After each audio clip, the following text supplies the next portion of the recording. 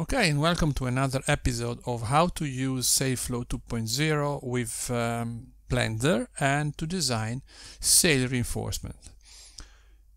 Sail reinforcement, for the people who don't know what a sail reinforcement uh, is, is a, a, point in the sail where you, you create overlap of layers of sailcloth to create stronger material around the point of high stresses, which are typically the clews, the tack, and the, and the top of the sail there are several type of reinforcement you can do in, in a spider shape like here on the windsurf example or more fancy shape in the other which uh, they also made for aesthetic reason. So let's go to blender and see how this can be done. So I already designed a sail that you see on the screen. And first of all we are going to see that in top view mode. And I want to design a reinforcement around this area and maybe a reinforcement around this area. Let's see how we can do it. I zoom here and I make sure that at the corner of the sail where I want to put my reinforcement there is this small arrow which is a cursor in Blender terminology. Then I create a triangle. Unfortunately a triangle is not a default geometry for Blender so I have to make one. I create a plane like this one then I press tab to go to edit mode. I press 2 to go in edge selection mode. I select this edge. I go to vertex and I say merge vertex at center and I have a triangle. Okay, now the triangle is pretty large. Resize it like that. And maybe I don't want to have it so square. So I resize it on the x axis. So S size x for the x-axis and I do like that. Maybe now it's a bit short, so I size it on the y-axis. Okay, I think I'm happy about it. At this point in time, I press Ctrl A, apply all transform. And now I create another object which has nothing but a reference, which is called the empty plane axis. I select my triangle, I go to this small wrench and I activate two modifier. The subdivision surface which I put to 4 and simple mode so it maintains the shape. I press apply and then the triangulate I press apply. Now I can apply the last modifier which is array modifier which create arrays of objects. I don't want to the object to be offset by a certain amount like here I just want to be guided by the empty. And I want to have three objects. Now I, I select the empty, I press R for rotation and Z around Z and I rotate and I create a number of triangles. To see them better, what is happening, I go here and I go in X-ray mode. So now I see all my triangles. I have the empty selected. I press R, Z, rotate around that, and I align the last of the triangle here. Okay, if you think you can cut this close away, you see that here I have a spider, sort of a spider, that makes the reinforcement, can make the reinforcement. Maybe 3 is not enough, I want to make more. So I select again my object, my triangle, which is now 3. Let me go back to top mode and I say that I want 5. I have to realign so I take select the empty rotate Z and let me realign. Okay now this time is much better. I have a lot of them and here I have a lot of overlap. I now have to cut the excess of cloth. First of all let me apply this modifier because at the moment is not yet applied. I remove the empty because it's just there and distracting I create another plane. Now the plane is centered around my cursor and is 2 meter offside. I want to move it here aligned with the sail so I will, I will say G minus 1 in Y and I have it. So I move it by 1 meter down and now I have it perfectly aligned with my sail. I press shift and I click on my object then I press tab mode and I press A mean select everything F3 I bring up the command line and I, I type knife and I have knife project. I make sure that cut through is selected and then I press X for delete all faces and voila I have deleted all the faces of my object with triangles and all the faces of my square which I don't need anymore. So I go back to edit mode, I select this which is the remaining of my square, X delete. I have to do the same with this part of the cloth. Same process, Shift A, plane. Now I have to move it in this direction, which is minus X direction. G minus 1 X. Enter. Then I press Shift, I select my triangle, I press Tab to go to object mode and I press A to select everything. F3, knife project is already selected, press it, I press X, delete all faces and voila, I have it. I go back to uh, object mode and then remove the remaining of the square of the square yes and that's what I have at the moment you see it's not following the sail it's just flat on the surface. So I have to do to make it doing this. I select the object. I go to modifier and I select the modifier shrink wrap. I tell that I want to shrink wrap around the sail and I have to tell that I want a project shrink wrapped not a, a, on the surface and on z-axis now what you see is that he has made a projection of course but where the two sides really coincide he did not actually move this bit. So my solution to this problem is I move this patch this reinforcement a bit up by a millimeter.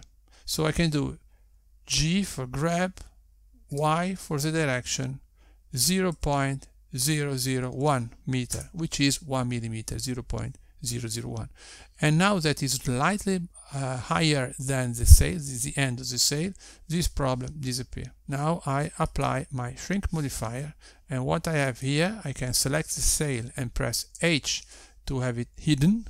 So the sail is still there but is hidden. I have my patch. When I look you see it's curved because it follows the shape of the sail thanks to the shrink wrap and now the only thing I have to do is to develop it, making a shape 2D using SailFlow. What do I do? I select the object, I go to edit mode, I press 3 to go to face selection mode, I select one face of one triangle and I press L. And I have the whole triangle selected but not the other triangles. In case you have problem with this selection, be sure that normal mode is selected. I go here and I say develop the selected face.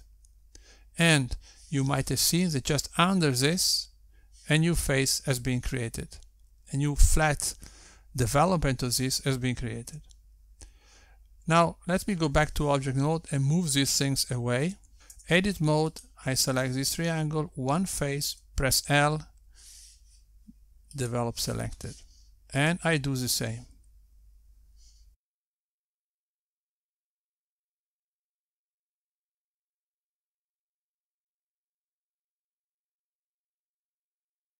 Have is equivalent in 2D. So the only thing that I have to do is to print this, uh, these faces and cut them and then stitch it onto the sail and they will perfectly follow the curvature. Let's remove everything. Let's go back to our sail and see how I can do the same here. The process is very very similar with some small exception and that's why I'm going to do it. So select the sail. I'm in top view mode. I press tab and I go to edit mode where I see all the edges and all the vertices. I can press 1 to go to vertex selection mode and if I press the corner I only select the corner vertex okay what I want to do is to move the cursor here because there is the center of my reinforcement I press the right button and I go here and I say snap vertices and I go cursor to selected and the cursor is moved from here to here. So now all new object up will appear here.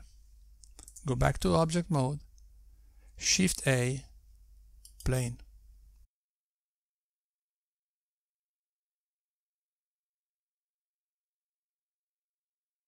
Remember to Control A, apply in this case only in this case only the scale because otherwise the object origin will be moved to here. So only scale. You know the drill is exactly as before. I have to create a reference which is created here. I go to my triangle and I apply a modifier which is subdivision. And this I have to put 4 or more. It must be a simple and then I apply a triangulation so I have the right mesh for the job last last point apply an array I don't want a relative offset but I want an offset which is guided by my empty. I want to have five copy of the same triangle. I select the empty I press rotate around Z and I have my group of triangle. This one is of course not aligned.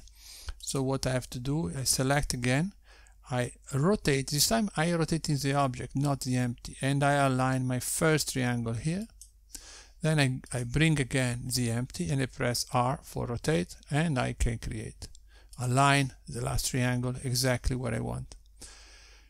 Now what is remaining to, to be done is to cut, to cut the cloth and the way to do it, if you remember, was to create a plane which is created here now because the cursor is here. For cutting this lower part of, the cloth is not difficult, the same process as before. To cut in this part along the leech, what you have to do is to press R to rotate this square, then G to move to freely move it. And what you have to do is now is to try to align it to the leech to the best you can. The leech sometimes curves, so it's not always possible. Remember that if you press the shift while you're moving, it becomes a accurate movement. So I do like that. And now I press, I keep shift pressed and I select the object.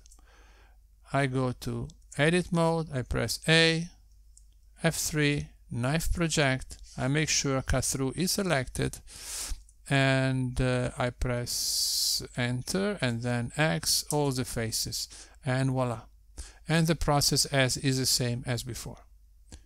Now, I don't do it all because it will be just a repetition. One other things. What if I want to do another type of patch? Okay, not this one, but another one. I have a suggestion. You can use the curve facility which is in Blender. Shift A, I create a curve, a Bezier curve. My cursor is here, so the Bezier is created here. So let, let me move it, the Bezier uh, at the center I think is Alt G to go to the center and I move also my cursor. In object mode I can go and say snap cursor to selected okay? And it goes to the origin of the object which is selected. Let me rotate like that size it and move it. Uh, okay you, you can see what I'm trying to do. This is this is uh, the type of um, the type of patch that we've seen in one of the picture. And to do that I have several way. And in this case I go and I grab in edit mode the control points okay? And I move it to align it maybe to the say like that. Then doing that I can press rotate and I have other possibility to change okay. Okay let's suppose this is what I want. Uh, I like this type of reinforcement reinforcement shape. Okay?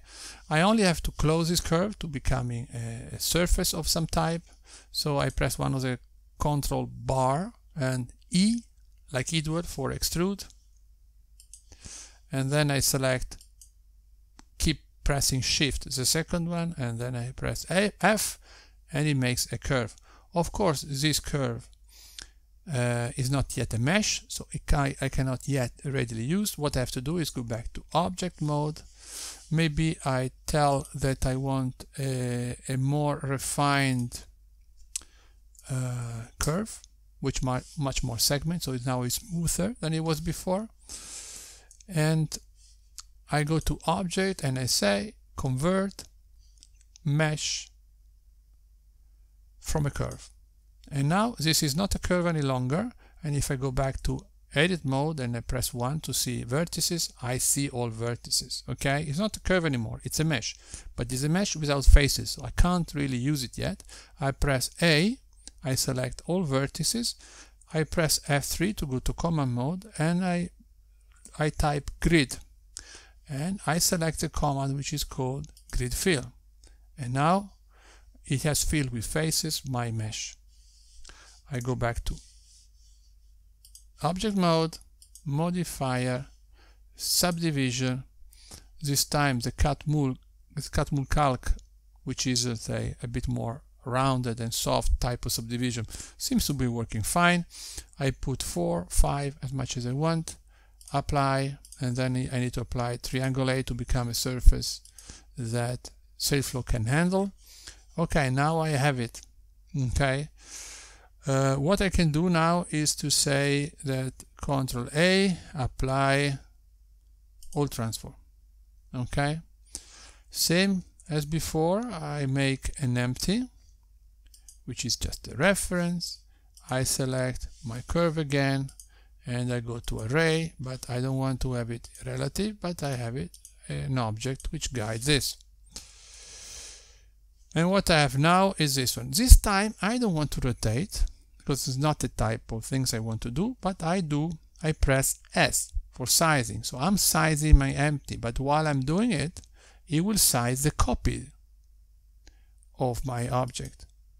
So select the object and I want to have three reinforcement. I mean four, three layers, which make a total of four. I want to have five layers and by sizing the empty I have them larger or smaller. Okay let's suppose this is what I want. Fine I deselect the object I apply this modification and I remove the empty because I don't need it and then I do what I did before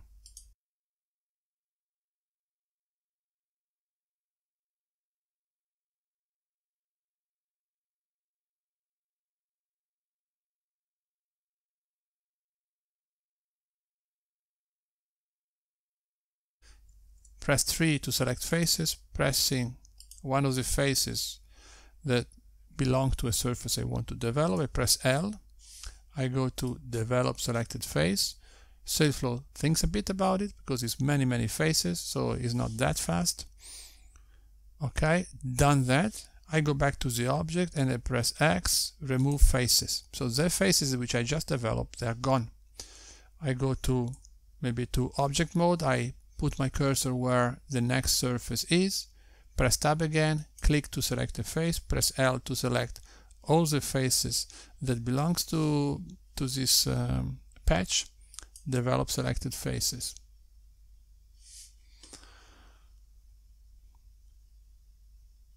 Okay, go back to the object, delete, delete faces, go back to object mode, put my cursor where the surface is, click, L, develop selected faces,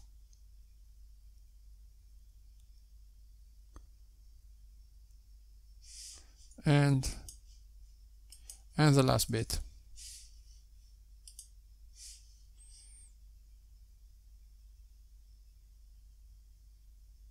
Okay, so now we have it. I mean, the, the curved surface is uh, is gone, unfortunately. But okay that was just uh, to design. I could have duplicated so I would have still have it. But this is basically the sequence of patches that I need. Okay and I only have to cut them and to stitch it to the sail. That was how you can use Blender to create reinforcement in your sail I hope you find it interesting I hope you will find it useful for you and again leave comments if you have any send me email or even better, send me pictures of your sail. Thank you very much, guys. Have a nice one.